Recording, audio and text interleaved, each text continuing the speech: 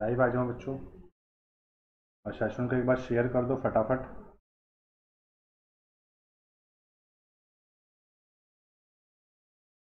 Live आ जाओ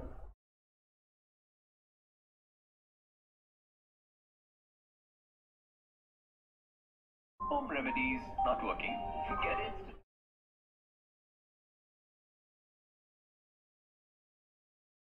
आवाज़ आ रही है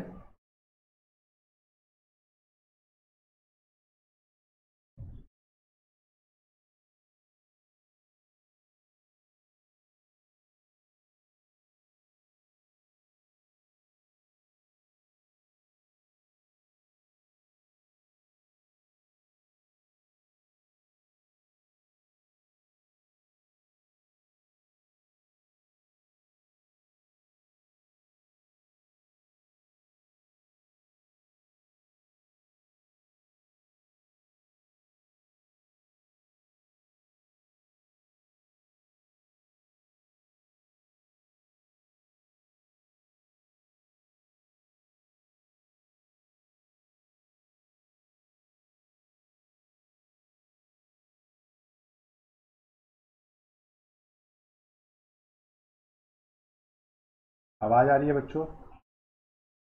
ओके ठीक है। सेशन को एक बार शेयर कर दो फटाफट और चीज़ों को फिर स्टार्ट करते हैं।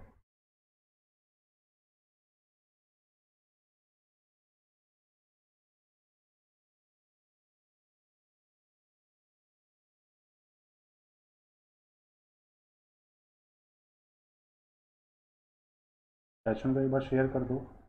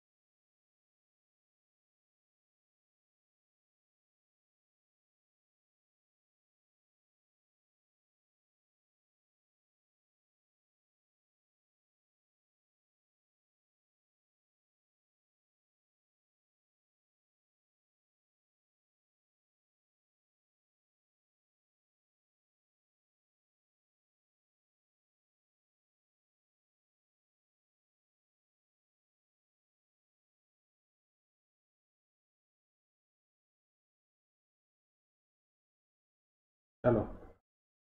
सेशन को स्टार्ट करते हैं।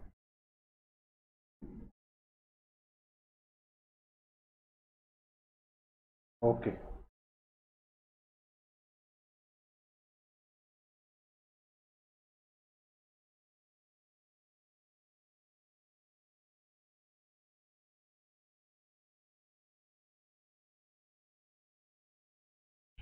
now this is about me and this is Gaurav Singh and I have more than 9 year teaching experience. So I qualified NDA, CDS and UPSC civil services.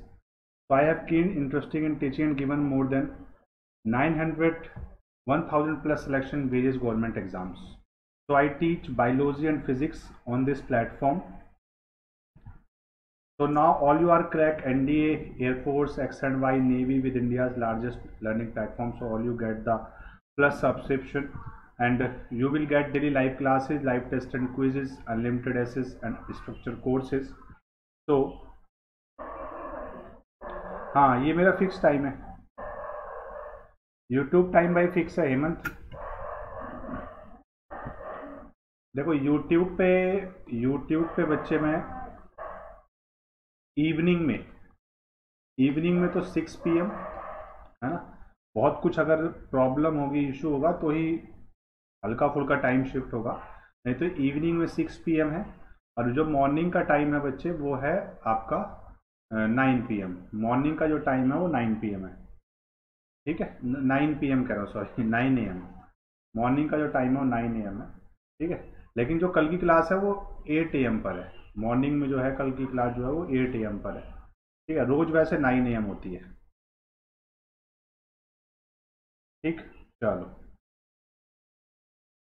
तो now all you are download Unacademy learning app India largest learning platform so all you are install this app ठीक है?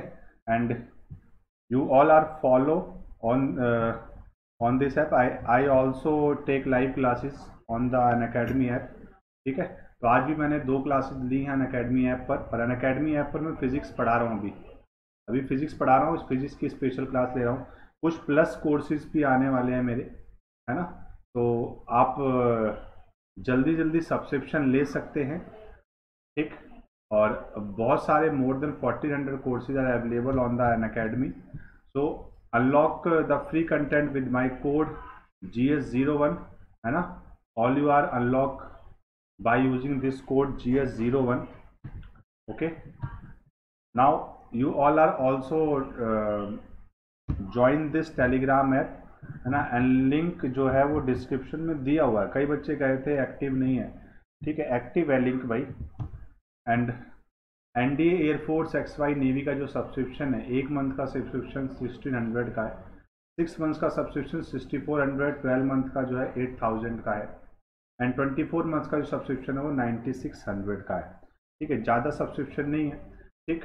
तो आप अपने suitability के हिसाब से चीज़ों को परचेज कर सकते हो जो प्लस पे कोर्सेज हैं वो देख सकते हैं। ठीक है?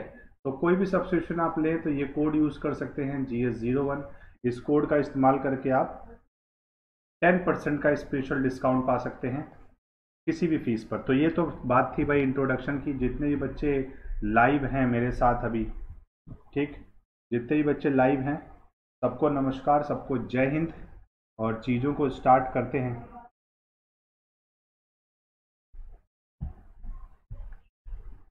ठीक है? तो देखो भाई तो आज का जो सेशन रहने वाला है बच्चे, आज का जो सेशन है, वो नर्वस सिस्टम के ऊपर है, तंत्रिका तंत्र।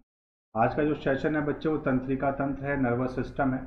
और नर्वस सिस्टम की अगर हम बात करें तो नर्वस किसी को देख के नर्वस होते हो पेपर में क्वेश्चन को देख कर नर्वस होते हो, है ना? तो नर्वस जब भी होते हो, जब तुम्हारे अंदर दिमाग होता है। अगर बच्चे भाई तुम्हारे अंदर दिमाग नहीं होगा तो नर्वस कहाँ से होगे? तो नर्वस होने के लिए दिमाग का होना भी ज़रूरी है। है कि नहीं? नर्वस होने के लिए भाई दिमाग का होना कितना ज़रूरी है? बहुत ज़्यादा ज़रूरी है। ठीक? तो इस सिस्टम में हम दिमाग को ही पढ़ेंगे, माइंड को ही पढ़ेंगे। ठीक है? इस सिस्टम में हम बेसिकली क्या पढ़ेंगे? ब्रेन के बारे में पढ़ेंगे, ब्रेन के बारे में स्टडी करेंगे। और ब्रेन बेसिकली क्या करता है? नर्वस सिस्टम में हम बेसिकली जो पढ़ते हैं, वो बेसिकली हम इसको दो पार्ट में डिवाइड करके पढ़ते हैं कि एक तो जो डिसीज़न ले रहा है, जो बंदा डिसीज़न कौन कौन लेता है हमारे शरीर में? डिसीज़न लेता है हमारा ब्रेन और हमारा स्पाइनल कॉर्ड आपने शायद पहली बार सुना होगा मेरे मुँह से कि स्पाइनल कॉर्ड नाम की भी कोई चीज़ होती है जो डिसीज़न ले रही है।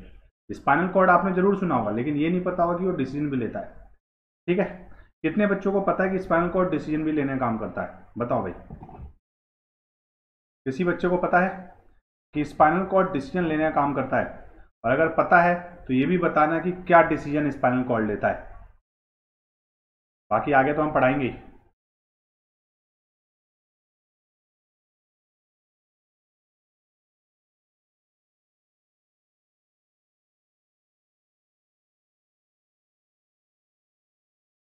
पता है भाई किसी को? स्पाइनल कॉर्ड डिसीज़न लेने का भी काम करता है, किसी को पता है यहाँ पर?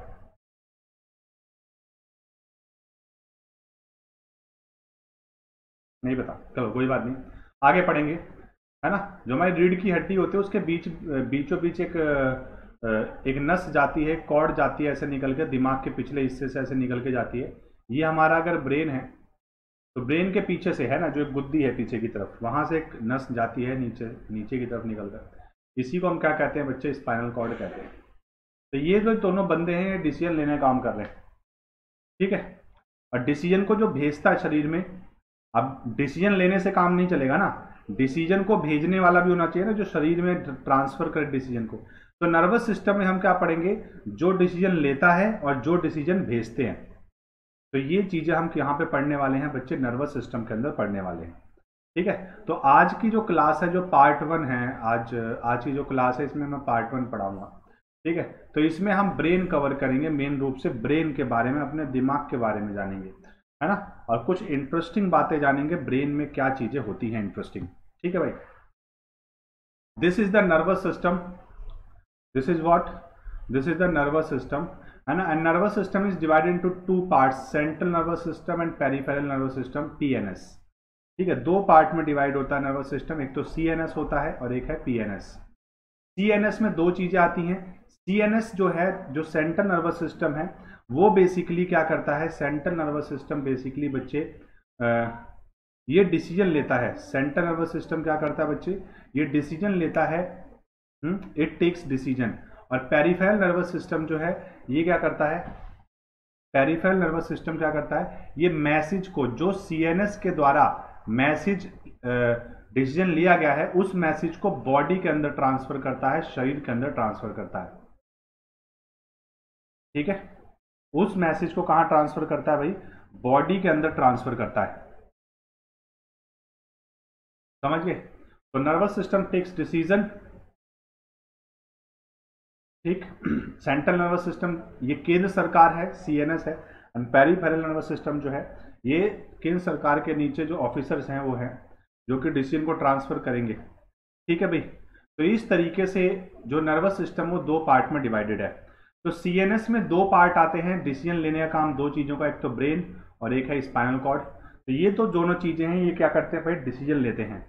पेरीफेरल नर्वस सिस्टम फिर से हमने दो पार्ट में डिवाइड किया है, एक सोमैटिक नर्वस सिस्टम एक ऑटोनॉमिक नर्वस सिस्टम फिर ऑटोनॉमिक नर्वस सिस्टम को फिर से दो पार्ट में डिवाइड किया है सिंपैथेटिक नर्वस सिस्टम और पैरासिम्पैथेटिक नर्वस सिस्टम ठीक है? इनकी बात हम बाद में करेंगे। बाद के सेशन में करेंगे। पार्ट टू में इसकी बात करूँगा मैं पीएनएस की। आज जो मैं बात करने वाला हूँ, वो सीएनएस की बात करूँगा मेन रूप से। सीएनएस में भी ब्रेन की बात करूँगा। ठीक है? अगर टाइम बचा तो स्पाइनल कॉर्ड भी पढ़ाऊँगा, लेकिन ब्रेन ही है। तो अगर मैं एक मोटा मोटी बात करूँ ना तो नर्वस सिस्टम जो है ना, ये नर्वस सिस्टम अगर आपके एग्ज़ाम के पॉइंट ऑफ़ व्यू से बात करें तो नर्वस सिस्टम का जो 80 परसेंट सेक्शन है 80 परसेंट सेक्शन जो वो ब्रेन ही कवर करता है। ये बात याद रखना। नर्वस सिस्टम का जो 80 परसेंट सेक्शन है बच्चे, वो ब्रेन ही कवर करता है। मतलब ज़्यादातर क्वेश्चन अगर नर्वस सिस्टम से आए तो ब्रेन से संबंधित आएँगे। 20 परसेंट और भी है वो न्यूरॉन्स वगैरह है जो पीएनएस में हम पढ़ेंगे।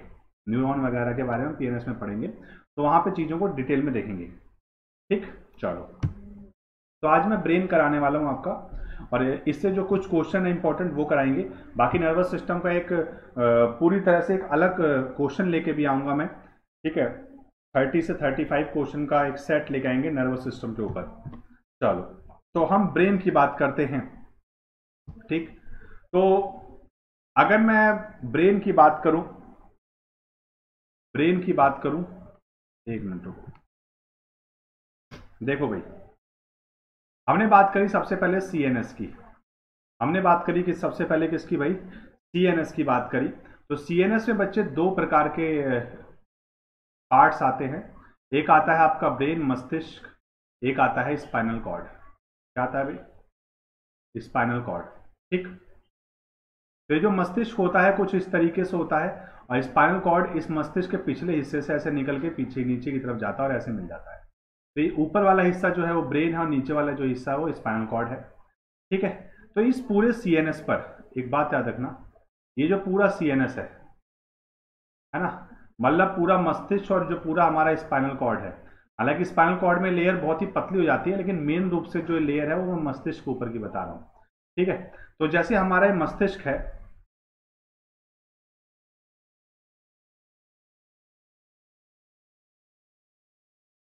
देखो भाई।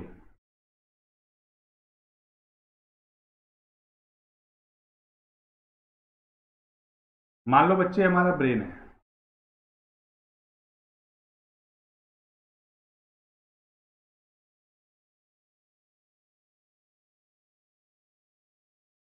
ठीक है? मान लो बच्चे क्या है, हमारा ब्रेन है। ठीक है? और ये हमारा नीचे स्पाइनल कॉर्ड है। तो इस ब्रेन के अपर कवरिंग पे, इस ब्रेन के ऊपर एक लेयर होती है। इस ब्रेन के ऊपर एक क्या होती है? एक लेयर होती है। ब्रेन आप पूरा सीएनएस ही कह सकते हो। इस पूरे सीएनएस पे एक लेयर होती है। इस लेयर को हम कहते हैं मीनिंग्स क्या कहते हैं? मीनिंग्स कहते हैं। ठीक है? और ये जो मीनिंग्स है, ये जो मीनिंग्स है, ये फर्दर थ्री लेयर्स में डिवाइडेड है। मतलब एक मोटी परत होती है। हमारे ब्रेन के ऊपर क्या होती है? एक मोटी परत होती है, जो कि तीन सब लेयर्स में क्या है बच्चे? डिवाइडेड है, तीन सब लेयर्स में बटी हुई है। जो ऊपर वाली लेयर है, ऊपर वाली लेयर है, उसे हम कहते हैं डी बीच वाली को ए और सबसे नीचे वाले को पी मतलब इन तीनों लेयर को मिलाकर क्या बनता है? इन तीनों लेयर को मिलाकर हमारा मीनिंग्स बनता है। ठीक है, हमारा मीनिंग्स बनता है। तो D stand for dura mater D stand for dura mater तो क्वेश्चन आता है कि मीनिंग्स की सबसे ऊपरी लेयर को क्या कहते हैं? ड्यूरा मैटर और मीनिंग्स क्या है basically meninges is the upper layer of the brain हमारे मस्तिष्क का जो ऊपरी लेयर है, उसे मीनिंग्स कहते हैं। A stand for arachnoid A stand for arachnoid ठीक है ए क्या है बच्चे? आर्किनॉइड है। And P stand for pia mater pia mater जो है वो सबसे नीचे वाली लेयर है, ठीक है? और देखो, इन लेयर्स के बीच में लिक्विड भरा होता है, एक द्रव्य पदार्थ भरा होता है। इन लेयर्स के बीच में क्या होता है बच्चे? एक द्रव्य पदार्थ भरा होता है, एक लिक्विड भरा होता है, ठीक है?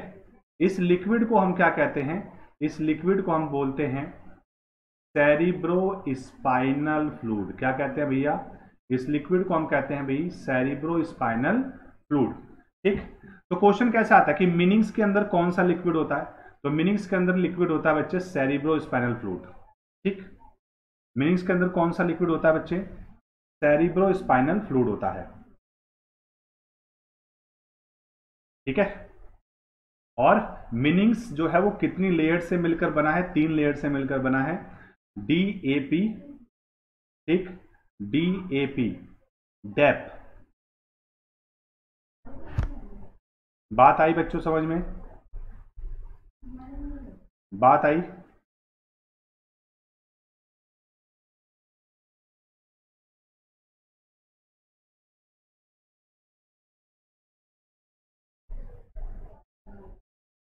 बात आ गई समझ में सबको कि नहीं?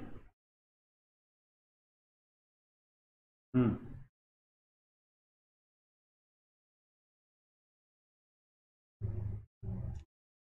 ठीक है? तो dura mater arachnoid and pia mater ठीक है? गॉट इट ओके तो ये था हमारा मीनिंग्स। मीनिंग्स के बारे में देखो, देखते हैं कुछ बातें। जैसे ये देखो, ये मीनिंग्स है। तो the between skull and brain are the three layer tissue called meninges. तीन लेयर का एक टिश्यू होता है है ना? Outer, the strong and outermost layer is name as the dura mater. जो सबसे बाई लेयर होती है और आउटर मोस्ट लेयर होती है, उसे हम क्या कहते हैं? ड्यूरा मैटर ठीक है? तो जैसे हमारे मस्तिष्क का जो सबसे ऊपर तो बोन है, उसके नीचे है, उसके नीचे ब्रेन है ना, मांस वाला पार्ट है। तो उसके नीचे है ड्यूरा मैटर है, फिर आर्कनॉइड है, फिर पाया मैटर है। ठीक है? ठीक? तो जो ड्यूरा मैटर है, ये the outer lining of the skull arachnoid contains the blood vessel तो आर्कनॉइड जो है क्वेश्चन आता है कि जो मीनिंग्स है मीनिंग्स का कौन सा लेयर है जिसमें ब्लड वेसल्स होते हैं? तो वो है आर्कनॉइड आर्कनॉइड जो है वो ब्लड वेसल्स होता है, ठीक? और इनके बीच की जो जगह होती है, इनके बीच की जो जगह होती है, उसमें क्या भरा होता है? सी एस एफ़ भरा होता है सेरिब्रो स्पाइनल फ्लूड भरा होता है। ये बताया था ना भी मैंने पीछे? सेरिब्रो स्पाइनल फ्लूड तो सेरिब्रो स्पाइनल फ्लूड भरा होता है इनके बीच में, ठीक? समझ गए? अच्छा एक चीज़ और बता देता हूँ यहाँ चलते चलते। जैसे एक शब्द है यहाँ पे पीरियोसेटम, है ना? पीरियोसेटम, और इसके नीचे लिखा है बोन। दिख रहा है बात? यहाँ पे एक शब्द लिखा है पीरियोसेटम, और इसके नीचे क्या लिखा है? बोन लिखा है। तो अगर कभी भी क्वेश्चन आता है कि बोन के ऊपर कौन सी कवरिंग होती है, पूरे शरीर में हमारी जितनी भी बोन्स हैं, पूरे शरीर में हमारे पास जितनी भी बोन्स हैं, उसके ऊपर कौन सी कवरिंग होती है? तो उसके ऊपर, बोन्स के ऊपर जो कवरिंग होती है उसे हम क्या कहते हैं? पीरियोसाइटम कोई भी बोन। हो ठीक है तो यहाँ पे इसीलिए पीरियोसाइटम उसके ऊपर है स्किन, और इसी स्किन के ऊपर क्या होंगे? बाल होंगे हमारे। समझ गए बात को? तो ये मीनिंग्स क्या है? अभी मैंने आपको अपर लेयर बताई है, अपने मस्तिष्क की अपर लेयर के बारे में बताया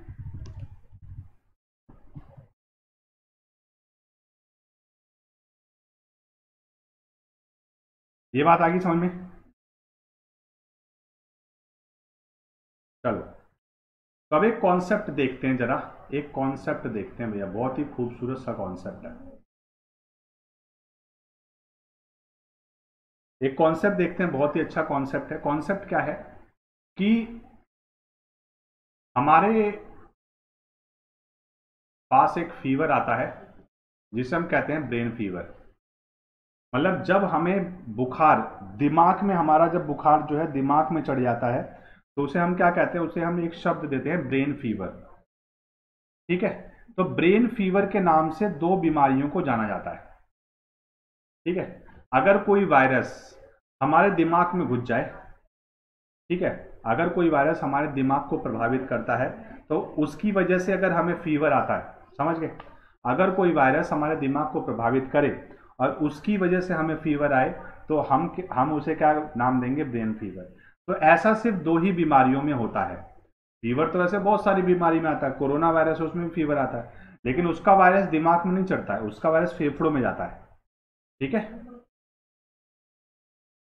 तो ब्रेन फीवर को अगर हम समझें तो ब्रेन फीवर से हम दो बीमारियों को जानते हैं। पहली बीमारी जो है, वो है, मिनिंगजाइटिस। और दूसरी बीमारी है बच्चे एंसेफेलाइटिस दूसरी बीमारी क्या है? दूसरी बीमारी है एंसेफेलाइटिस तो सबसे पहले मिनिंगजाइटिस को समझते हैं। अभी मैंने थोड़ी देर पहले बताया कि हमारे मस्तिष्क का जो सबसे अपर लेयर है, उसे मिनिंग्स कहते हैं। मतलब एक मोटी चादर है और ये जो मोटी चादर है, वो तीन और लेयर से मिलकर बनी हुई है। सबसे ऊपर है डेप जो स्ट्रॉन्गेस्ट इशू है। डी है ड्यूरा मैटर, बीच वाला आर्कनॉइड जिसमें ब्लड वेसल्स भी होते हैं, और नीचे है पी पाया मैटर। और इनके बीच में फ्लूड भरा होता है, ठीक है? सेरिब्रो स्पाइनल फ्लूड भरा होता है इनके बीच में। कौन सा फ्लूड होता है? सेरिब्रो स्पाइनल फ्लूड होता है। ठीक है, जिसको मैं शॉर्ट फॉर्म में लिख रहा हूँ सी एस एफ़ ये भरा होता है। तो ये जो सेरिब्रो स्पाइनल फ्लूड है ना, इसका काम क्या होता है? हमारे मस्तिष्क को ठंडा रखना है ना? कूल रखना, ब्रेन को कूल रखना, है ना? मस्तिष्क को क्या रखना भाई? ठंडा रखना, कूल रखना, ठंडा ठंडा, कूल कूल। ठीक? तो मस्तिष्क को कूल रखने का काम किसका होता है? सेरिब्रो स्पाइनल फ्लूड का होता है सी एस एफ़ का होता है। ठीक है? यहाँ तक तो कोई डाउट है तो बताओ।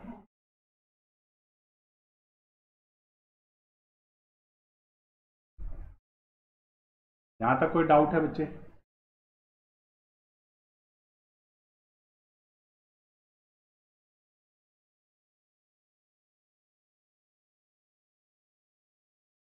चलो, ठीक तो सीएसएफ का काम क्या है? मस्तिष्क को कूल रखना, मस्तिष्क को।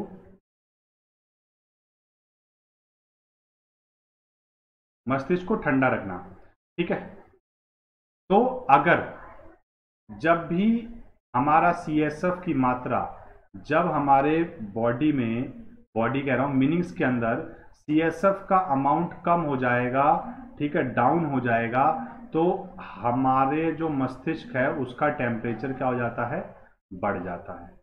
उसका टेम्परेचर बढ़ जाता है, इसकी वजह से हमें फीवर हो जाता है, या फिर जब इसकी मात्रा, इस लिक्विड की मात्रा कम होती है तो इस मीनिंग्स में क्या आ जाती है? सूजन आ जाती है, फूलने लगता है।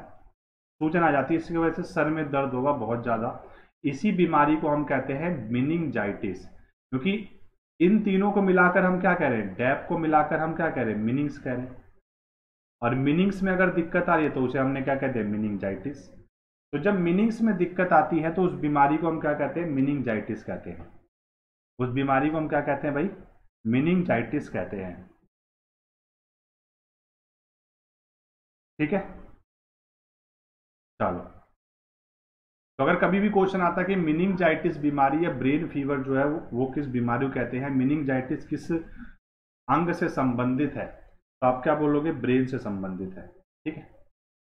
अब दूसरी बीमारी है एनसेफेलाइटिस दूसरी बीमारी क्या है बच्चे? एनसेफेलाइटिस तो जो एनसेफेलाइटिस है एनसेफेलाइटिस हमारे ब्रेन के हाइपोथैलेमस को प्रभावित करती है। है ना? हाइपोथैलेमस ब्रेन का एक ऐसा पार्ट है फोर ब्रेन का एक हिस्सा है, जो कि हमारे बॉडी टेम्परेचर को रेगुलेट करता है। बॉडी टेम्परेचर को क्या करता है? कंट्रोल करता है हाइपोथैलेमस इसका काम ही यही है। बॉडी टेम्परेचर को कंट्रोल करने का काम किसका है भाई? हाँ प्राची सिंह ब्रेन लेयर ठीक। तो एंसेफेलाइटिस एक ऐसी बीमारी है, जो कि हमारे हाइपोथैलेमस को प्रभावित करती है और हाइपोथैलेमस हमारे शरीर के बॉडी टेम्परेचर को कांस्टेंट रखता है कंट्रोल करता है। तो जब ये बीमारी हाइपोथैलेमस को प्रभावित करती है हाइपोथैलेमस में सूजन आ जाती है तो हमारे ब्रेन का भी टेम्परेचर बढ़ता है और साथ के साथ शरीर का भी बढ़ जाता है। तो इसलिए इसको हम इन दोनों बीमारियों को हम ब्रेन फीवर कहते हैं। तो आप ये कह सकते हो कि मिनीजाइटिस तो ब्रेन के ऊपरी ऊपरी हिस्से को प्रभावित कर रही है और एंसेफेलाइटिस ब्रेन के आंतरिक हिस्से को प्रभावित करती है। तो ये बीमारी जो है, ये थोड़ी डेंजरस बीमारी है। ये बीमारी कैसी है? डेंजरस है। और ये एक हल्की फुल्की बीमारी है, इतनी डेंजरस नहीं है। लेकिन अगर इलाज ना हो तो डेंजरस तो कोई भी है। ठीक है? तो डेंजरस ये किसके लिए? ये डेंजरस ज़्यादातर बच्चों के लिए, जो छोटे छोटे बच्चे हैं, उनके लिए डेंजरस है, क्योंकि उन्हीं को ज़्यादा बीमारी होती है। आप अगर न्यूज़ पढ़ते हो तो आप देखते होगे कि हर साल जो बिहार है, एक बिहार का एक जिला है, इसे रफ कर दूँ। बिहार का एक जिला है। हम्म, बिहार का एक जिला है भाई मुजफ्फर नगर हर साल मुजफ्फरनगर में मुजफ्फरनगर नहीं मुजफ्फरपुर है सॉरी मुजफ्फरपुर। तो मुजफ्फरपुर एक जिला है बिहार में वहाँ पर हर साल ये बीमारी फैलती है और उस बीमारी को एंसेफेलाइटिस को बिहार के लैंग्वेज में मुजफ्फरनगर पुर के लैंग्वेज में इसे हम चमकी बुखार भी कहते हैं। अगर आप रोज न्यूज़ न्यूज़ सुनते हो तो डेली बेसिस पे तो आपको पता होना चाहिए।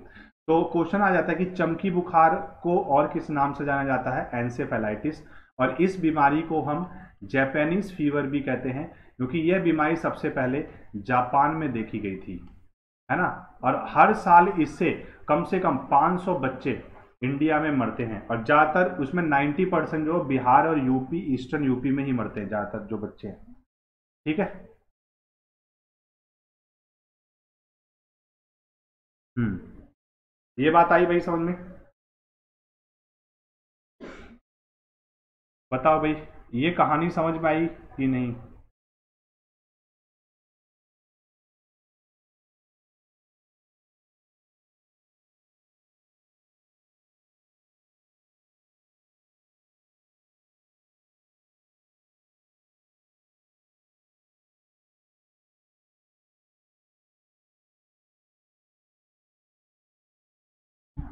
ठीक है प्राची। हेमंत।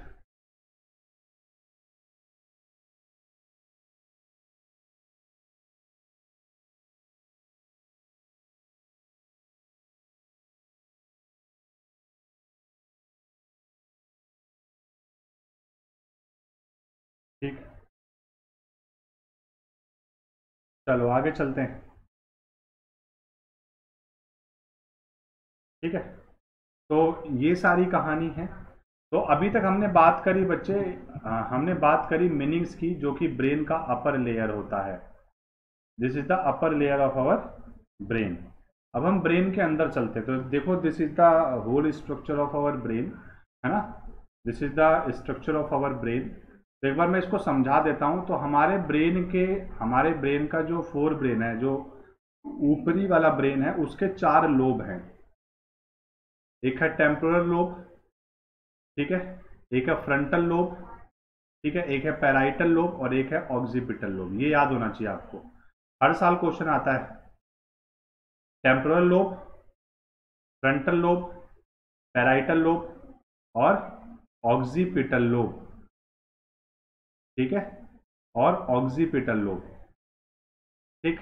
तो these are the four lobe mostly जो चीज़ें हैं वो इन्हीं से कंट्रोल होती हैं। ठीक है frontal lobe parietal lobe occipital lobe और टेम्पोरल लोब ठीक है, इन्हीं से जो चीज़ें हैं वो कंट्रोल होती हैं। ठीक है? ठीक। तो अगर देखो, एक और कॉन्सेप्ट देखो जो बच्चे यहाँ पर कंफ्यूज रहते हैं। अगर कोई भी पूछता है how many types of brain ठीक है, अगर कोई पूछता है, भाई टाइप्स ऑफ़ ब्रेन बताओ।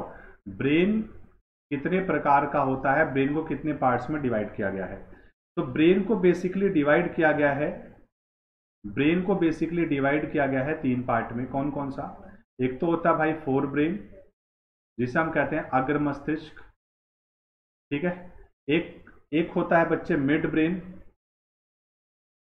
मिड ब्रेन जिसे हम कहते हैं मध्य मस्तिष्क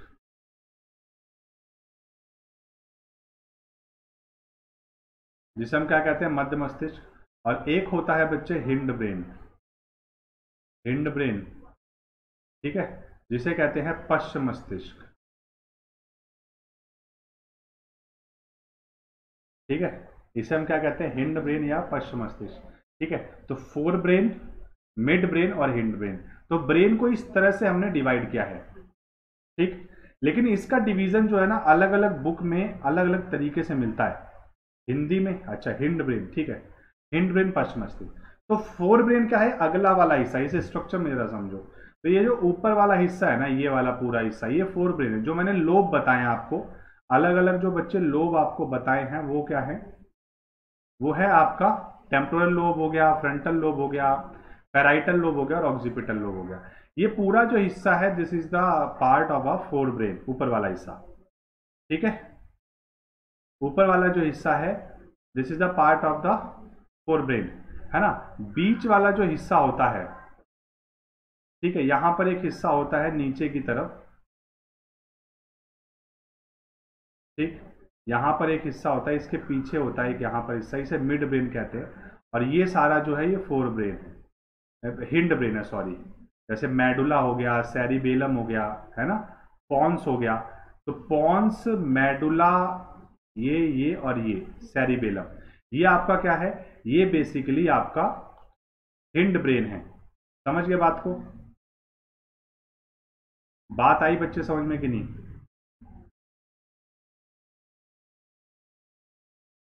Thank you Prachi thank you thank you Prachi. ठीक है? तो एक बार चीज़ों को दोबारा बताता हूँ। कई बच्चों के नए जोड़ रहे हैं। देखो भाई मैं दोबारा एक्सप्लेन करता हूँ। जो ब्रेन के टाइप्स हैं, वो तीन प्रकार में डिवाइड किए गए हैं फोर ब्रेन मिड ब्रेन और हिंड ब्रेन फोर ब्रेन में बेसिकली जो चीज़ें आती हैं, वो कौन कौन सी आती हैं? जैसे आता है सेरिबेलम सॉरी एक मिनट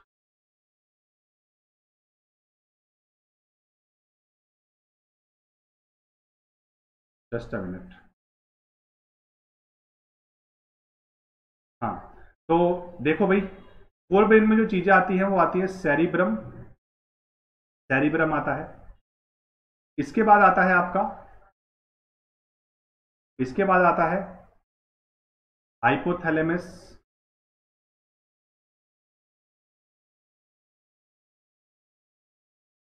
या इसको थैलेमस भी बोलते हैं हाइपोथैलेमस क्योंकि थैलेमस के अंदर ही हाइपोथैलेमस होता है तो थैलेमस भी लिख सकते हो इसको। ठीक है? और एक आता है, एक आता है ब्रेन स्टेम एक क्या आता है भाई? ब्रेन स्टेम आता है। ये फोर ब्रेन का बेसिकली पार्ट होता है। मिड ब्रेन का मिड ब्रेन में बेसिकली हम इसको डिवाइड नहीं करते, है ना? इसमें एक कॉर्टेक्स पार्ट आता है, एक ही पार्ट आता है इसमें कॉर्टेक्स या सेरिब्रम कॉर्टेक्स इसे हम कह सकते हैं। हिंड ब्रेन हिंड ब्रेन में जो है, वो आता है पॉन्स सेरिबेलम और मेडुला। अब देखो यहाँ फिगर में देखो जरा, तुम लोग फिगर में देखो। फोर ब्रेन में क्या क्या आएगा? फोर ब्रेन में आएगा temporal lobe frontal lobe parietal lobe और ऑक्सीपिटल लोब देखो ये जो चार लोब है, पहला, दूसरा, तीसरा और चौथा, ये चारों लोब जो है वो मिलकर किसको बनाते हैं? ये मिलकर बनाते हैं सैरिब्रम को। मतलब हमारे ब्रेन का जो सबसे बड़ा भाग है, वो कौन सा है? सैरिब्रम है। It is the largest part of the brain क्योंकि ब्रेन का 80 परसेंट पार्ट ये सैरिब्रम ही कवर करता है। ठीक है? ऊपर वाला जो हिस्सा होता है। तो ये चार लोग जो है, वो मिलकर किसको बनाते हैं? सैरिब्रम को बनाते हैं। ठीक है? इसके बाद। सैरिब्रम के बाद आता है आपका थैलेमस। जैसे मैंने बताया था, ये फोर ब्रेन का पार्ट है। हाइपोथैलेमस थैलेमस यही होता है। मटर के दाने जैसा होता है, छोटा सा। ठीक है? इसके बाद आता है आपका ब्रेन स्टेम। ये जो है, काला काला से जो फैला हुआ है, ये ब्रेन स्टेम है। ये फोर ब्रेन का पार्ट है। ठीक है? Brain stem. घर की लुगाई। Hello sir. नाम तो बड़ा अच्छा रखा तुमने, घर की लुगाई। दूसरा नाम नहीं मिला भाई? चलो।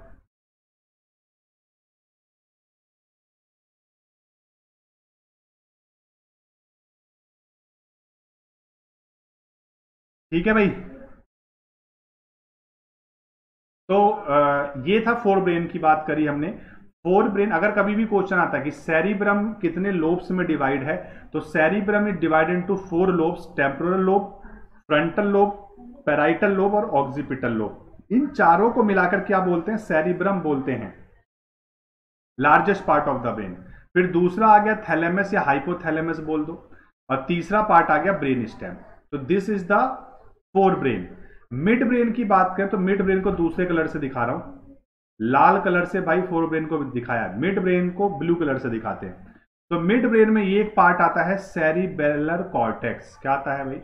सेरिबेल कॉर्टेक्स जो फूल पत्ती सा बनना है। ठीक है? सेरिबेल कॉर्टेक्स या मिड ब्रेन किसी किसी बुक में सिर्फ़ मिड ब्रेन ही लिखा होता है। ठीक है? एक क्वेश्चन आता है मतलब सेरिब्रल कॉर्टेक्स को ही मिड ब्रेन कहते हैं, या किसी किसी बुक में सेरिब्रल कॉर्टेक्स की जगह ही मिड ब्रेन लिखा होता है। ठीक है, ये चीज़ देख लो भाई। तो क्वेश्चन आता है कि सेरिब्रल जो कॉर्टेक्स है, या मिड ब्रेन है, इसको कौन घेर के रखता है कवर करके कौन रखता है? तो आंसर हो जाएगा सेरिबेलम कौन कवर करके रखता है मिड ब्रेन को? Midbrain is covered by covered by किसके द्वारा? Mid brain is covered by सैरी mid brain is covered by भाई सैरीबेलम सैरीब्रम अलग चीज़ है और सैरीबेलम अलग चीज़ है। Cerebrum is a part of fore brain और cerebellum is a part of cerebellum is a part of hind brain तो क्वेश्चन आ जाता है कि मिड ब्रेन जो है, वो किसके द्वारा कवर होता है? सेरिबेलम के द्वारा कवर होता है। ठीक है? हिंड ब्रेन के पार्ट कौन कौन से हैं? तीन पार्ट है पोन्स सेरिबेलम और मैंडुला ये बात आ गई समझ में भाई। किसी को अगर डाउट है एक भी चीज़ में तो पूछ लो। अच्छा। हमारे सर में, हमारे घर में लड़कियाँ बहुत हैं।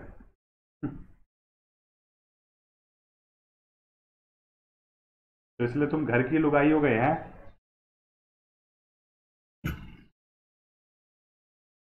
चलो, अच्छी बात है भाई पहले ये बताओ, ये चीज़ समझ में आई कि नहीं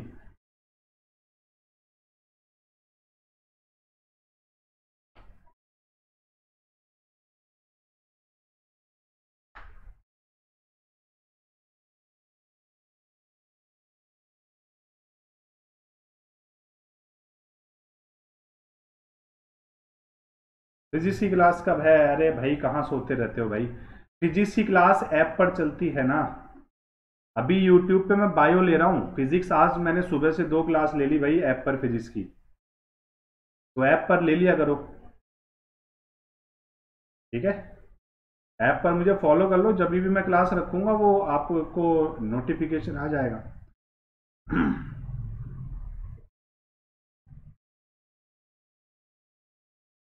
ठीक है भाई?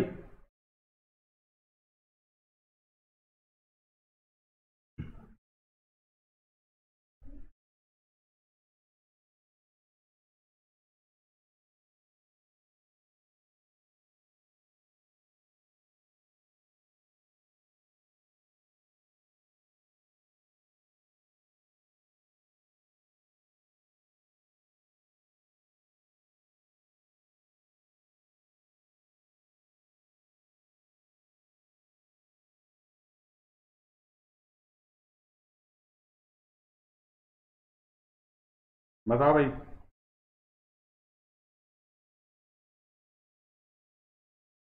चलो।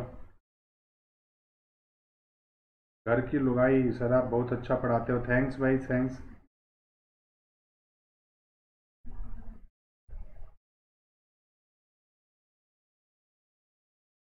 डिस्क्रिप्शन का तो मैं एक बार टेक्निकल टीम से बोलूँगा हेमंत, है ना? क्योंकि ये जो चीज़ें हैं टेक्निकल जो चीज़ें हैं ना, ये मैं नहीं करता हूँ, ठीक है? तो एक बार आज टेक्निकल टीम से बात करता हूँ मैं, है ना? तो ये सारी चीज़ें अटैच करा देते हैं, ठीक? अन अकेडमी प्रोफ़ाइल वगैरह अटैच करा दूँगा, ठीक है भाई? चलो तो आगे चलते हैं बच्चे तो ये सारी तो बातें हो गई। और किसी का कोई डाउट है तो बताओ। ठीक? तो ये एक मैंने टाइप्स बताया है। ब्रेन को अलग अलग टाइप्स में कैसे डिवाइड किया है? ठीक? ब्रेन को अलग अलग कैसे डिवाइड किया है? अलग अलग फॉर्म में कैसे डिवाइड किया है? लेकिन बच्चे, कुछ बुक्स में ब्रेन को डिवाइड करने का तरीका अलग है। ठीक है? कुछ बुक्स में अलग है। तो मैं हर एंगल से आपको चीज़ें समझाना चाह रहा हूँ, ताकि आप कभी भी कहीं और से भी पढ़ो, किसी बुक में से पढ़ो तो कहो कि सर ने गलत पढ़ा दिया। है ना? तो ऐसा नहीं है। एक ये आसान तरीका है जिससे आप चीज़ों को आसानी से समझ सकते हो। लेकिन कुछ बुक्स में अलग है तो उस तरी, उस वे में भी हम चीज़ों को समझते हैं, है ना? चीज़ें वही हैं, लेकिन समझने का तरीका अलग है। जैसे कुछ चीज़ें जो हैं, वो इस तरह से ड्राइव की गई हैं। जैसे अगर क्वेश्चन आता है कि ब्रेन को कितने पार्ट में डिवाइड किया गया है तो आप लिखोगे तीन, ठीक है? लेकिन कहीं कहीं ऐसे बोला गया कि ब्रेन जो है, वो उसमें तीन ही पार्ट हैं सेरिब्रम ब्रेन स्टेम और सेरिबेलम ठीक है? ब्रेन स्टेम और सेरिबेलम इस तरीके से, क्योंकि ये मेन पार्ट है, ये सबसे बड़े बड़े पार्ट है तो इस तरीके से भी चीज़ों को जो है वो डिवाइड किया गया है। ठीक है? इस तरीके से भी जो चीज़ें हैं वो डिवाइड की गई हैं। तो एक एक करके चीज़ों को समझते हैं और फिर आगे हम चलेंगे। ठीक है?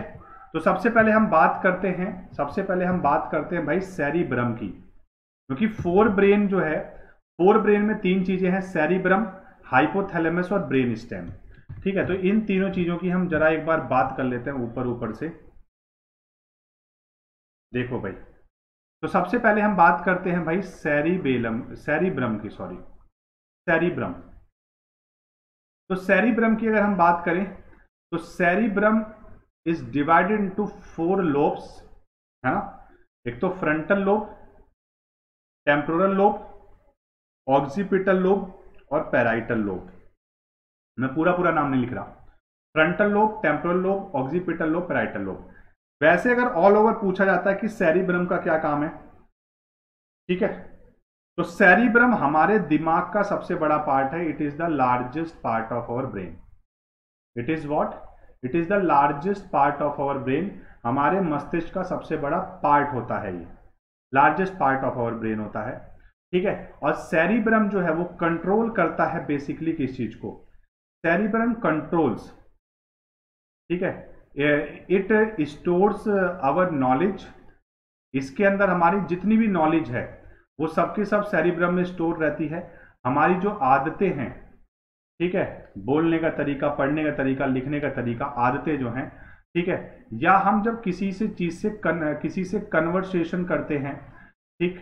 या जो बच्चे हमारी याददाश्त है, यादें हैं, ठीक है? उसने मुझे धोखा दिया, वो मुझे छोड़ के चला गया, है ना? या छोड़ के चली गई। तो ये जो यादें हैं भाई, ये सारी की सारी कहाँ स्टोर रहती हैं? सेरिब्रम में। अभी मैं जो आपको पढ़ा रहा हूँ, वो जो नॉलेज है, ये कहाँ स्टोर हो रही है? ये सेरिब्रम में स्टोर हो रही है है ना? तो इसमें भी हर चीज़ का अलग अलग लोब में जो चीज़ें हैं अलग अलग स्टोर होती हैं। अलग अलग लोब में अलग अलग चीज़ें यूज़, स्टोर होती हैं। तो सबसे पहले हम बात करते हैं फ्रंटल लोब की। ठीक है? फ्रंटल लोब की हम बात करते हैं सबसे पहले। तो frontal lobe is a section of the brain located in the front of the head है ना?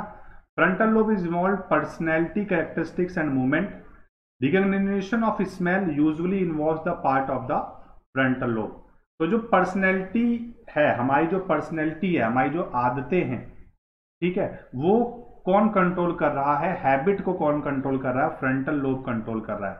इसको फ्रंटल इसलिए बोलते हैं क्योंकि ये सबसे बड़ा सेक्शन और सबसे फ्रंट में होता है। ये आगे आगे की तरफ़, ये जो माथे के आगे की तरफ़ जो लोब है, इसे हम क्या कहते हैं? फ्रंटल लोब कहते हैं। है ना?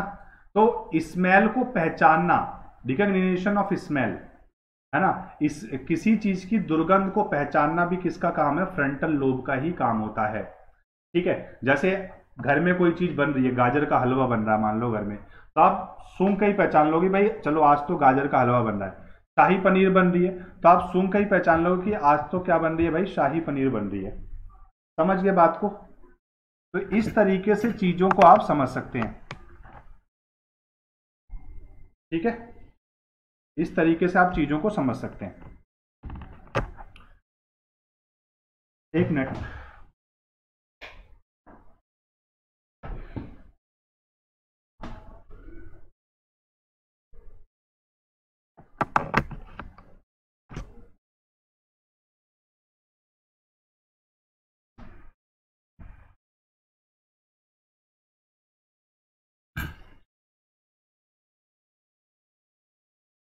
ठीक है।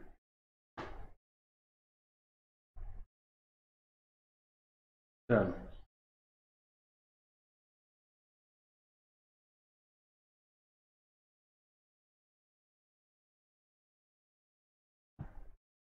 तो देखो भाई, हमारे दिमाग में जितनी भी स्मेल स्टोर रहती है कहाँ स्टोर होती है? फ्रंटल लोब में। अब दूसरा लोब की बात करते हैं पैराइटल लोब दूसरा लोब क्या है भाई?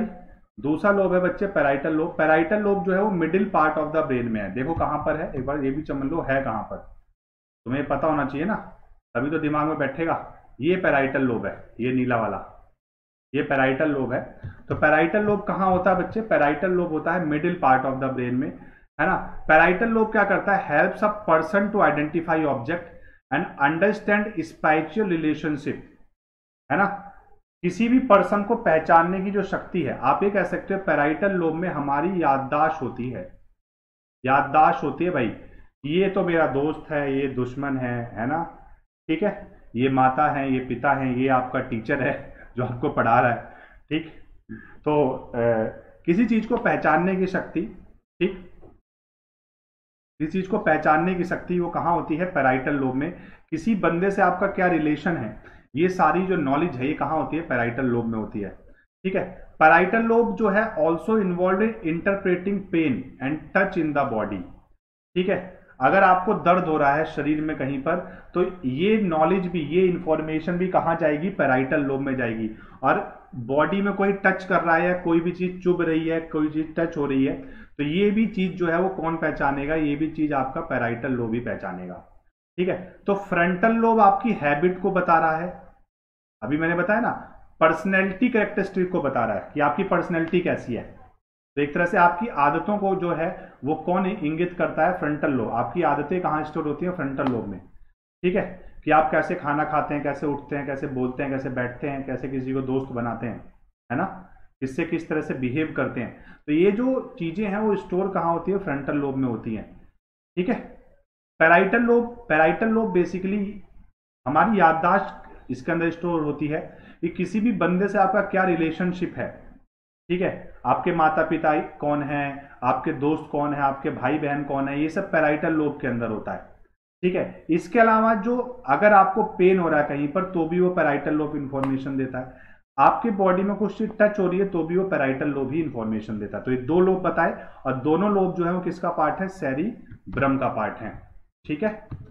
अब हम बात करते हैं ऑक्सीपिटल और टेम्पोरल लोब की। ठीक है भाई? ऑक्सीपिटल और टेम्पोरल लोब की बात करते हैं। तो देखो भाई, occipital lobe is a back part of the brain है ना? डेट इन्वॉल्व विद विजन ठीक है? ऑक्सीपिटल लोब जो है, वो सिर्फ़ और सिर्फ़ विजन को बताता है। विजन ठीक है? यहाँ पे दृष्टि की चीज़ें संबंधित होती हैं। जैसे हम जो भी कुछ देखते हैं तो उसकी इंफॉर्मेशन ऑक्सीपिटल लोब में चली जाती है। ठीक है? जैसे आपने कल किसी को देखा होगा। ठीक है? आज अभी मुझे देख रहे हैं, लेकिन आपको याद होगा कि भाई हाँ मैंने क्लास देखी थी।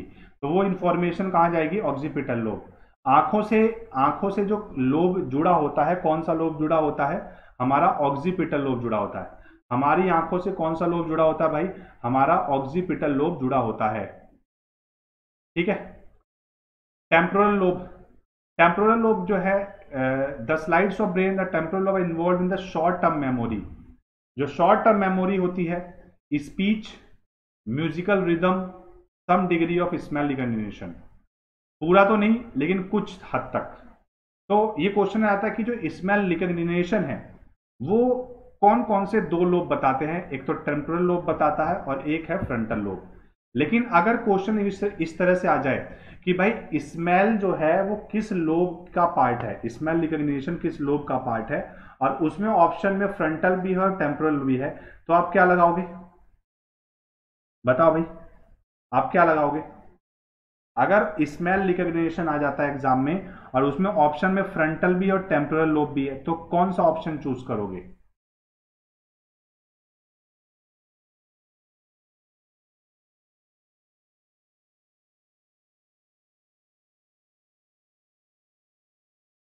कौन सा ऑप्शन चूज़ करोगे बेटा? तुक्का तो मार दो। हम्म।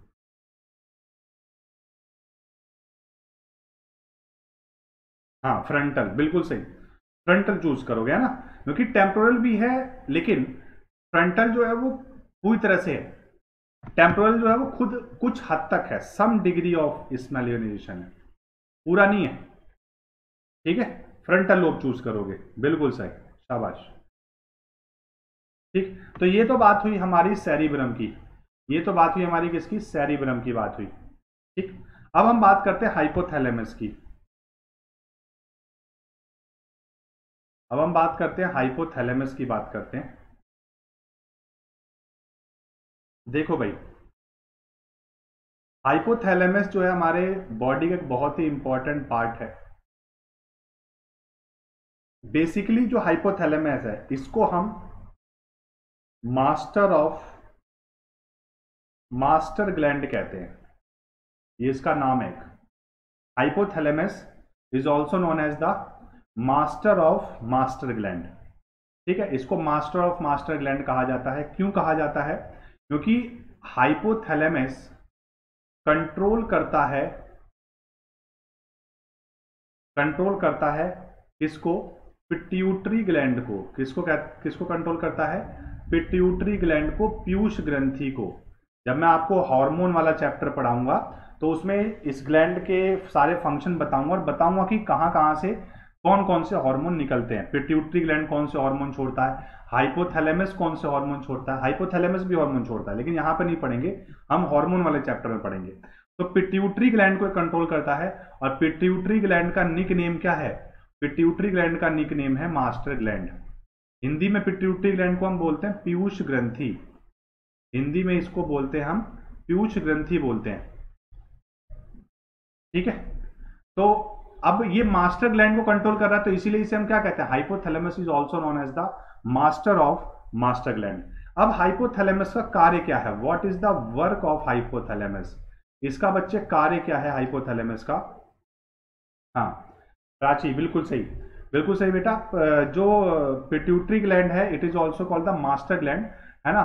And hypothalamus controls the pituitary gland so it is called the master of master gland ठीक है? मोस्ट इंपॉर्टेंट क्वेश्चन है ये। ठीक है? So it is called the master of master gland तो हाइपोथैलेमस का कार्य क्या है? वर्क क्या है? तो हाइपोथैलेमस क्या करता है? इट कंट्रोल्स इसको it controls the body temperature हमारे शरीर के तापमान को नियंत्रित करने का काम किसका है? हाइपोथैलेमस का। जैसे हम पैरासीटामोल खाते हैं ना, बुखार हो जाता है, हमें पैरासीटामोल खा लेते हैं पीसीएम पैरासीटामोल खा लिया। तो पैरासीटामोल क्या करता है? हाइपोथैलेमस पे अटैक करता है। कहता भाई, चल तू जल्दी से अपना जो टेम्परेचर तूने बढ़ाया है है ना, उसको कम कर फटाफट। ठीक है? तो बॉडी टेम्परेचर कंट्रोल करने का काम किसका है? हाइपोथैलेमस का है। ठीक है? अच्छा। इसके अलावा और भी इसके काम है? जो फीलिंग ऑफ़ सेटिस्फैक्शन है, जो बच्चे फीलिंग ऑफ़ सेटिस्फैक्शन है फीलिंग ऑफ़ सेटिस्फैक्शन तृप्ति की भावना जिसे कह सकते हो, किसी भी चीज़ का सेटिस्फैक्शन हो सकता है। ठीक है? नीमोसुलाइड हाँ नीमोसुलाइड भी लेते हैं। नीमोसुलाइड जो है वो बेसिकली पेन और फीवर के लिए दोनों है। सिर्फ़ जो नीमोसुलाइड होता है ना वो वो पेन के लिए होता है। और नीमोसुलाइड प्लस पैरासीटामोल भी आती है तो वो फीवर में भी काम करती है।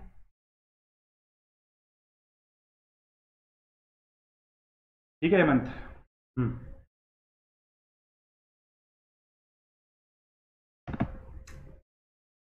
तो देखो भाई फीलिंग ऑफ़ सेटिस्फेक्शन जो है वो कौन देता है? हाइपोथैलेमस जैसे आप पढ़ रहे हो मैं पढ़ा रहा हूँ।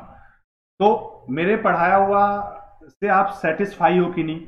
ऐसा तो नहीं लग रहा कि आप भी मास्टर ने आधा ही पढ़ा दिया।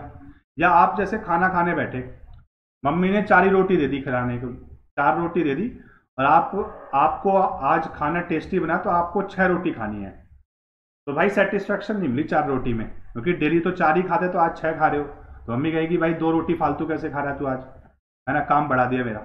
समझ गए बात को? तो फीलिंग ऑफ़ सेटिस्फेक्शन, ये जो तृप्ति की भावना आती है ना अंदर से, किसी भी चीज़ को लेके, चाहे वो खाने को लेके, है ना? चाहे आप, मान लो मोमोज खाने गए, टिक्की खाने गए, पिज्जा खाने गए, है ना? उसको लेके कि भाई हाँ आप तो सेटिस्फाई हो गए इसको खा के ठीक है? या और भी कई सारी चीज़ें हैं, ठीक है? चाहे वो किसी को देश के देख कर सेटिस्फेक्शन हो जाए, ठीक है? जैसे कभी कभी होता है ना, भाई, उनके बिना हमारा दिल नहीं लग रहा, देखना तो पड़ेगा। ठीक? तो इस तरह का जो फीलिंग ऑफ़ सेटिस्फेक्शन की भावना है, ये ये कहाँ से आती है निकल के? हाइपोथैलेमस से आती है। बहुत इंपॉर्टेंट क्वेश्चन है। या, हमें जब भूख लगती है या प्यास लगती है कि भैया हमें कितना पानी पीना है, कब पानी पीना है, कब हमें भूख लगती है, कब ईटिंग कितना खाना है, कब खाना है तो ये जो इंफॉर्मेशन है, ये सारी की सारी कौन कैरी करता है? ये सारी की सारी हाइपोथैलेमस कैरी करता है। ठीक है? ये बात आ गई समझ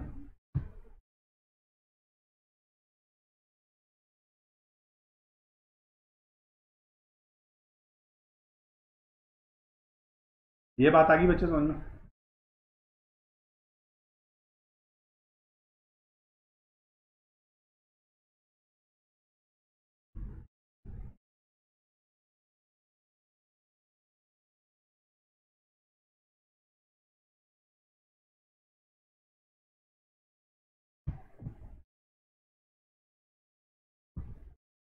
और बच्चे भाई कमेंट करो, और भी बच्चे, समझ में आई कि नहीं? हाइपोथैलेमस समझ में आ गया। हम्म।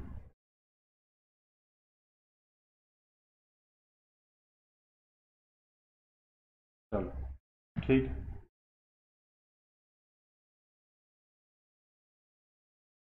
ठीक है भाई। अब आते हैं ब्रेन स्टेम पे। देखो, ये थोड़ा सा जो पार्ट है ना ब्रेन स्टेम ये थोड़ा सा कंफ्यूजिंग है। जैसे अगर हम स्ट्रक्चर में देखते हैं स्ट्रक्चर में देखते हैं तो ब्रेन स्टेम ये जो ब्लैक वाला पार्ट है, ये सारा ब्रेन स्टेम है। ये थोड़ा टुकड़े में टूटा हुआ है। ये बटा हुआ अलग अलग पार्ट्स में बटा हुआ है। मतलब ये पोन्स को भी कुछ हद तक घेरे हुए है ऐसे। ठीक है, इस तरह से बटा हुआ है ब्रेन स्टेम जो है। ठीक है?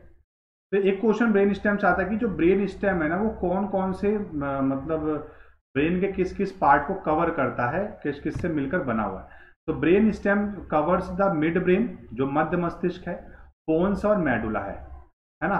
इन तीनों चीज़ों को ये कवर करता है। ठीक है? तो ये क्वेश्चन याद रखना इंपॉर्टेंट क्वेश्चन है वह, ये थोड़ा सा इंपॉर्टेंट क्वेश्चन है। ठीक? तो brain stem covers the mid brain pons and medulla it is it covers the mid brain pons and medulla क्योंकि इनको कनेक्ट करता है आपस में कनेक्ट कनेक्ट कर रहा है। जैसे पॉन्स इससे कनेक्ट है है ना?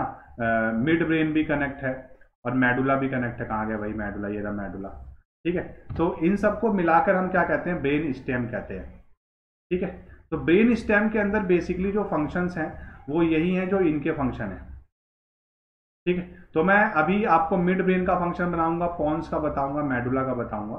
ठीक? और फिर चीज़ों को आगे लेकर चलेंगे। तो देखो भाई, सबसे पहले हम बात करते हैं मिड ब्रेन की। सबसे पहले हम बात करते हैं किसकी? मिड ब्रेन की बात करते हैं। मध्य मस्तिष्क की बात करते हैं। तो देखो भाई, जो मिड ब्रेन है मिड ब्रेन जो है, सबसे छोटा ब्रेन होता है। It is also the smallest brain of our body body में तो ब्रेन है ये तो it is the smallest brain सबसे छोटा ब्रेन होता है ये। ठीक है? मिड ब्रेन कंट्रोल्स किसको कंट्रोल करता है? मिड ब्रेन कंट्रोल किसको भाई?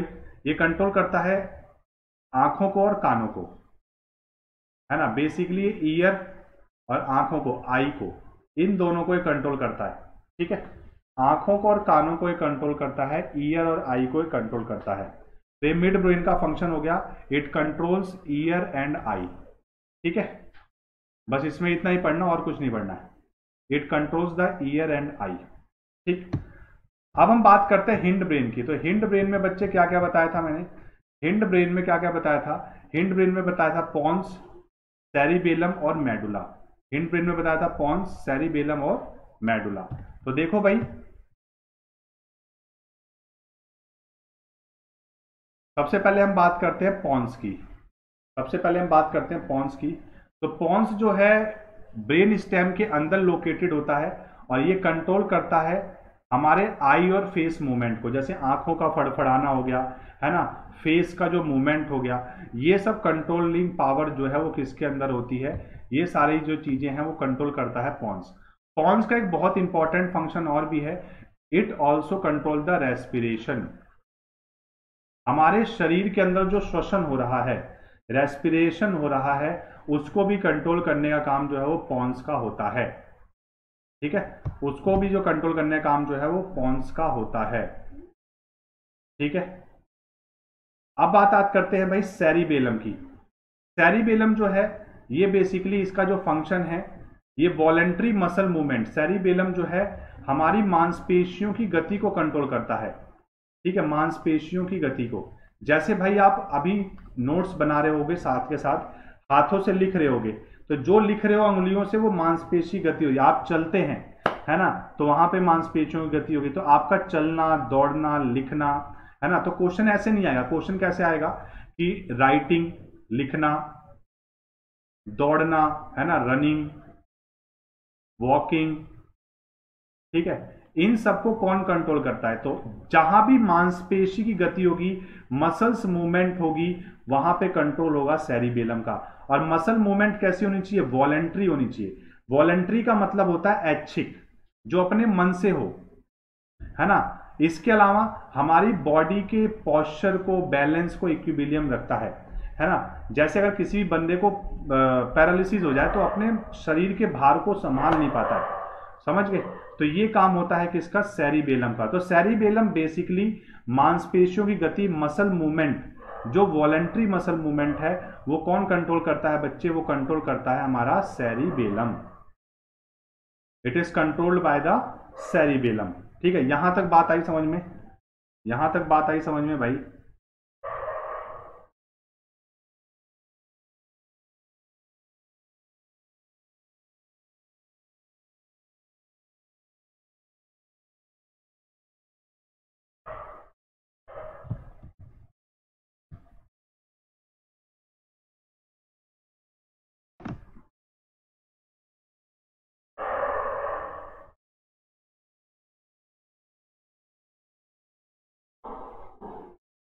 ठीक है? अब देखो, मेडुला क्या कंट्रोल करता है? तो मेडुला कंट्रोल करता है, भाई, हमारा, अगर हमें छीक आ रहा है स्नीजिंग छीक आ रहा है, कफ आ रहा है कफिंग वॉमिटिंग है ना, उल्टी आ रही है, ठीक है? ये सारी चीज़ें। इसके अलावा, हमारा जो बीपी है ब्लड प्रेशर है, ठीक है ब्लड प्रेशर है, ये सारी जो चीज़ें हैं कंट्रोल करने का काम किसका होता है? मेडुला का कंट्रोल करने का काम होता है। और मेडुला हमारे ब्रेन का सबसे अंतिम पार्ट है, सबसे लास्ट पार्ट है। It is the last part of our brain है ना? ये हमारे ब्रेन का सबसे बच्चे अंतिम पार्ट है लास्ट पार्ट है। ठीक? तो ये था ब्रेन के अलग अलग पार्ट्स जो मैंने आपको समझाए और बताए। ठीक? अब नेक्स्ट क्लास में बच्चे में ब्रेन का अभी इस सेक्शन में मैंने आपको क्या बताया? ब्रेन के बारे में बताई सारी चीज़ें। नेक्स्ट सेक्शन में स्टार्ट करूँगा स्पाइनल कॉर्ड से। जो कि मॉर्निंग में रखा है, कल मॉर्निंग में आठ बजे। यूट्यूब पर ही है एट ए पर। ये सेशन रखा है, जिसमें स्पाइनल कॉर्ड और कुछ पीएनएस के बारे में हम चीज़ों को बताएँगे आपको। ठीक? अच्छा। एक चीज़ और देख लो चलते चलते कुछ क्वेश्चंस बताओ भाई। Outermost layer of cranial appendage cranial appendage कहते हैं मीनिंग्स को। मीनिंग्स का आउटर मोस्ट लेयर कौन सा होता है? What is the outermost layer of meninges starting बताया था। What is the outermost layer of meninges ठीक है।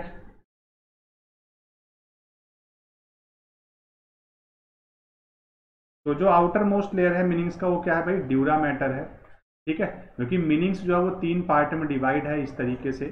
है ना? सबसे ऊपर D Depp D A P dura mater arachnoid और पाया मैटर तो इसका आंसर क्या हो जाएगा बच्चे? ड्यूरा मैटर हो जाएगा। Next cranial मिलिंग्स is close approximately of the brain है ना? तो सबसे ऊपर तो ड्यूरा मैटर होता है। बीच में आर्कनोइड होता है। सबसे नीचे क्या होता है? पाया मैटर होता है। और इसके नीचे हमारा ब्रेन होता है, मस्तिष्क होता है। तो कौन सा मीनिंग्स का कौन सा हिस्सा ब्रेन के सबसे क्लोज है? मीनिंग्स का कौन सा हिस्सा ब्रेन के सबसे क्लोज है?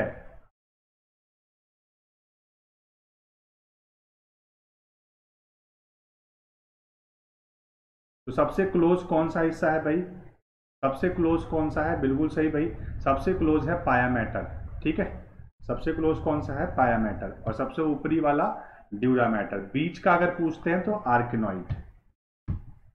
Next this part of human brain also known as emotional brain तो इमोशनल ब्रेन कहते हैं इस पार्ट को ह्यूमन ब्रेन के इस पार्ट को। इमोशनल ब्रेन भी कहा जाता है।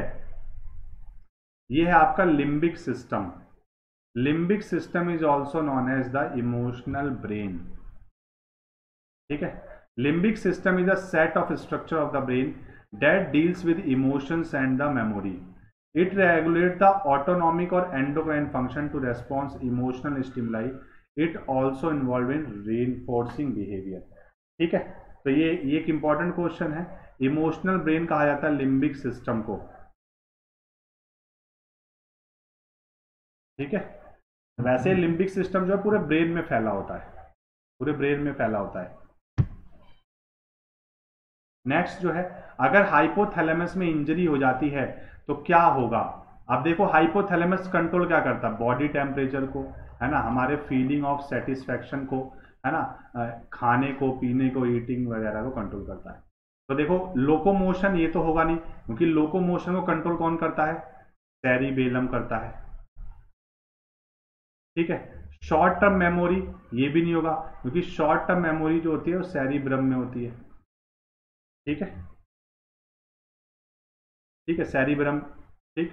इसके बाद executive function like decision making ये भी सैरिब्रम का पार्ट है फ्रंटल लोब का पार्ट है। ठीक? अब बात आता है बच्चा क्या? रेगुलेशन ऑफ़ बॉडी टेम्परेचर क्योंकि बॉडी टेम्परेचर को कंट्रोल करने का काम किसका है? हाइपोथैलेमस ठीक? तो इसका आंसर क्या हो जाएगा भाई? सी समझ गए बात को? तो these are the different questions ठीक है बच्चों? तो ये सारी बातें थी और ये सारी चीज़ें मैंने आपको कराई। तो आशा करता हूँ आज का सेशन समझ में आया होगा और अच्छा लगा होगा। ब्रेन आपको समझ में आया होगा। एक बार किसी और बुक से भी आप अच्छी तरह से पढ़ लें, ताकि और अच्छी तरह से चीज़ों को समझ पाए। ठीक है? और अच्छी तरह से चीज़ों को आप समझ पाए। ठीक? तो मिलते हैं बच्चे नेक्स्ट सेशन में। और अगर आपको अन अकेडमी पे प्लस सब्सक्रिप्शन लेना है ND air force X Y navy का, या इसके अलावा कोई और भी एसएससी का लेना है यूपीएससी का लेना है, या घर में कोई भी आईआईटी पीएमटी जेई का कोई स्टूडेंट है, उसको अन अकेडमी से पे सब्सक्रिप्शन लेना है। तो आप कोड यूज़ कर सकते हैं जी एस ज़ीरो वन ये कोड यूज़ कर सकते हैं भाई जी एस ज़ीरो वन इस कोड का इस्तेमाल करके आप जो भी फ़ीस होगी, उस पर टेन परसेंट का डिस्काउंट आपको मिल जाएगा। तो इस कोड को याद रखें, गौरव सिंह ज़ीरो वन ठीक है? तो इस कोड का इस्तेमाल करें। और आज के लिए इतना ही। थैंक यू सो मच तो कोई डाउट वगैरह है तो पूछ सकता है।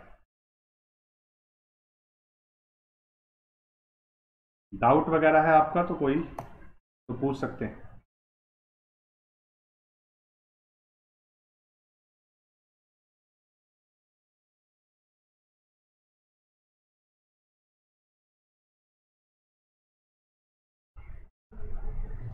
चलो।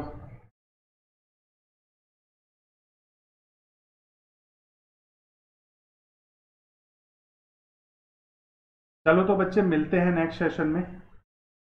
कोई डाउट नहीं है किसी का।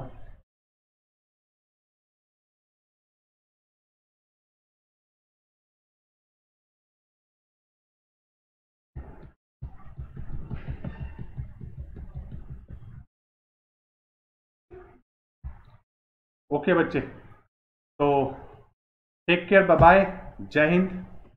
और कोरोना से बचे रहें। और मिलते हैं नेक्स्ट सेशन में। और ऐप पर रात को क्लास होगी। आप, उसमें चीज़ों को देख लेना क्लास कितने बजे शेड्यूल की गई है और वहाँ पर आप ज्वाइन कर सकते हैं।